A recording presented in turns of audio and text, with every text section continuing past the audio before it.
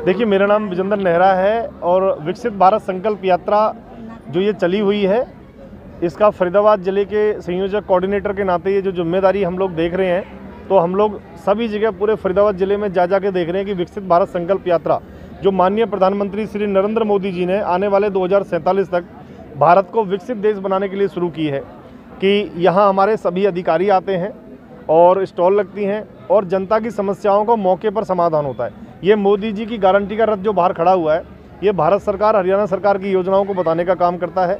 किसी के प्रधानमंत्री किसान सम्मान निधि के छः हज़ार रुपये सालाना नहीं आ रहे हैं, वो यहाँ शुरू करे जाते हैं। किसी की वृद्धावस्था पेंशन है, किसी की दिव्यांग पेंशन है, किसी की विडो पेंशन है, उसके यहाँ पे एप्लीकेशन फॉर्म भर के वो यहाँ पे शुरू करी जाती हैं। परिवार पहचान पत्र के अंदर किसी की इनकम ज़्यादा है, उसको यहाँ ठीक किया जाता है। आधार कार्ड की करेक्शन यहाँ पे ठीक की जाती है। इसके अलावा उज्ज्वला योजना के तहत जो फ्री में गैस सिलेंडर मिलते हैं, उसके फार्म यहाँ पे भरवाए जाते हैं। हेल्थ के चेकअप यहाँ पे फ्री होते हैं। आयुष्मान आयुष डिपार्टमेंट की तरफ़ से खाने पीने के हमें तरीका बताया जाता है और दवाइयों का वितरण यहाँ पे होने का काम होता है। सरकारी विभाग की लगभग सभी समस्याओं का यहाँ पे समाधान होता है। हर विभाग की स्टॉल लगती हैं और जनता को पूरी तसल्ली के साथ यहाँ पे होता है। जिनके काम नहीं हो पाते किसी कारण से, उनसे फार्म भरवा के ले लिए जाते हैं। मत्स्य पालन के लिए किसी को लोन चाहिए, वो यहाँ पर देने का काम होता है। किसान क्रेडिट कार्ड बनवाना है वो यहाँ पे काम होता है। कोई भी विभाग ऐसा नहीं है। सरकार के सारे विभाग माननीय प्रधानमंत्री नरेंद्र मोदी जी और हरियाणा सरकार ने जिस तरह से माननीय मुख्यमंत्री श्री मनोहर लाल जी के नेतृत्व में काम किया है उन सब की जानकारी देने के लिए यहाँ पे अधिकारी होते हैं। हम सब लोग यहाँ जानकारी देते हैं। ये पूरी तरह से भारत सरकार की तरफ़ से सरकारी यात्रा है हरियाणा सरकार की तरफ़ से यात्रा है।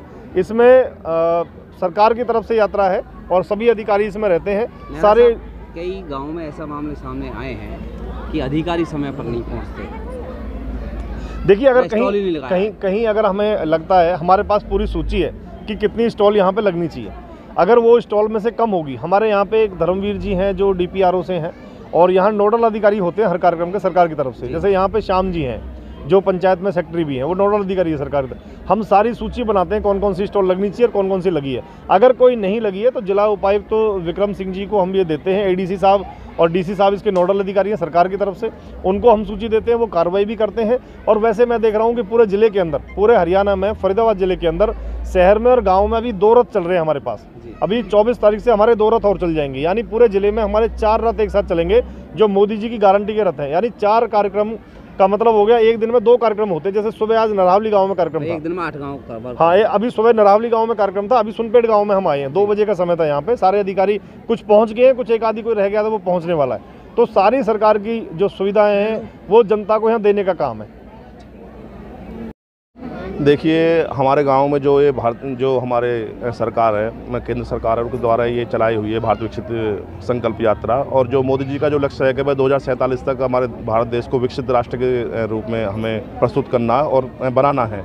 तो उनके, और ये सरकार की एक बहुत अच्छी व्यवस्था है कि सारे महकमे, कर्मचारी जो, जिनके लिए हमें शहर में चक्कर काटने पड़ते हैं जो हमारे जिला कार्यालय, वहाँ जाना पड़ता है शहरों में जाना पड़ता है वो सारी व्यवस्था सरकार ने अपने हमारे दरवाजे पर देने का काम किया है। और हमारे यहाँ जैसे कि प्रोग्राम एक बजे से था अकॉर्डिंग टू शेड्यूल तो जो कर्मचारी हैं, वो आ रहे हैं, जो नहीं आए, वो भी पहुँचने वाले हैं, और कितने लाभार्थी हैं, और कितने को कितने को काम हो पाएगा, ये अभी जो है ना, इसके जो जो रिज़ल्ट हैं, अभी एक दो घंटे बाद आएँगे।